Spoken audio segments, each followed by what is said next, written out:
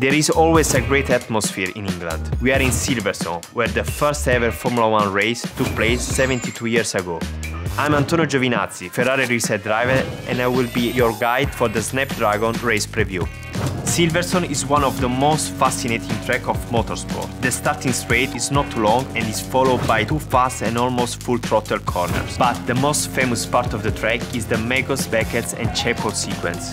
From the copse, you have to ease a bit on the throttle before bending slightly to the right. Then you enter Beckett's pedal to the metal. You will gently release a bit of the throttle in turns 12 and 13. As a driver, this is a section of the track we love with a passion. Trail turn requires very hard braking and special attention. Otherwise, the gravel awaits ahead. Later on, at turn 18, we enter the main straight and the crowded grandstands. We are finally ready to race. Forza Ferrari!